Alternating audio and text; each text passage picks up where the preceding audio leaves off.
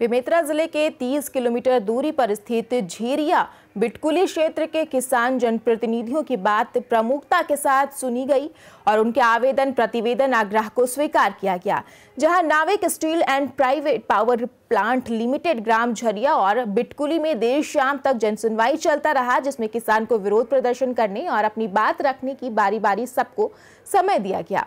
ग्रामीण जत्थे के साथ पहुंचकर कंपनी का विरोध करने लगे। ग्रामीणों का कहना था कि जन सुनवाई में सभी को बोलने का बराबर अधिकार है। गाँव का माहौल शांतिपूर्ण है। ग्रामीणों की बात सुनी गई। स्पंज, आयरन संयंत्र का क्षेत्र लगभग सभी गाँव में ज़बरदस्त विरोध किया जा रहा है। संयंत्र के विरोध में किसान एकजुट है और क्योंकि प्राकृतिक वातावरण में स्पंज आयरन से क्षेत्र की उपजाऊ ज़मीन पर फ़सल लेना दुर्लभ हो जाएगा। अब देखने वाली बात होगी कि क्या स्पंज आयरन झरिया बिटकुली में नहीं लगेगा या फिर सिर्फ़ विरोध को एक दिखावा मानकर स्पंज आयरन स्थापित कर दिया जाएगा।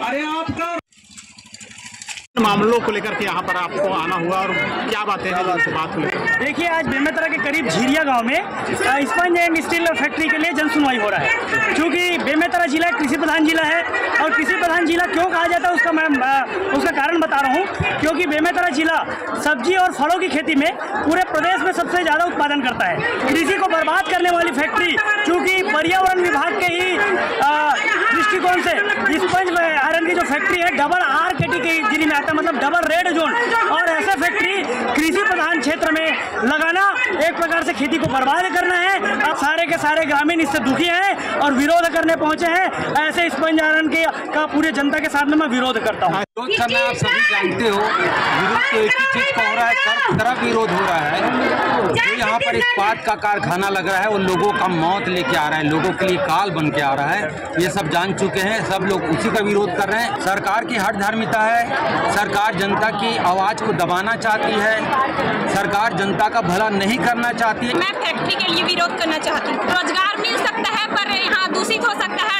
वहाँ धरसीवा रायपुर के आसपास पूरा कृषि पूरा मतलब बंजर। हो गया है और यहाँ नहीं लगना चाहिए फैक्ट्री यहाँ कृषि प्रधान देश है।